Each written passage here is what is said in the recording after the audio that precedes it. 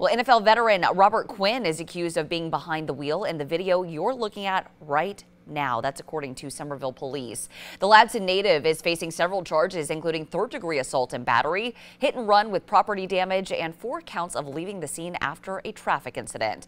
It all happened on Tuesday night, and police say Quinn turned himself in this morning and is now out on bond. A handful of neighbors spoke with our Meredith Blair about why they're frustrated with what happened in court. I'm not impressed. Not at all. I just don't like it at all.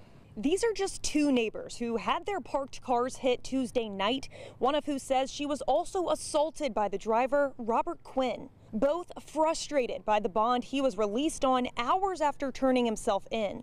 I was hoping that he would be treated just like anybody else. It shouldn't matter that he played or plays in the NFL. Who cares?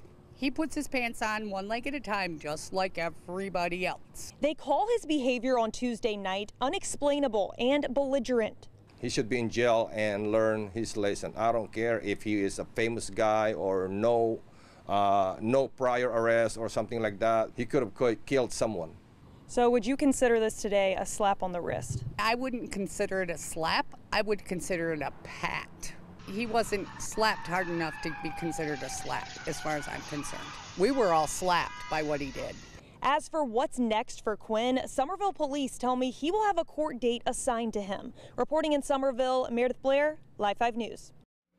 Well, Quinn's bond is set as following $5,000 for a hit and run with someone in the vehicle, $232 rather for each of the four hit and runs, $155 for striking a highway fixture, and $1,087.50 for assault and battery in the third degree.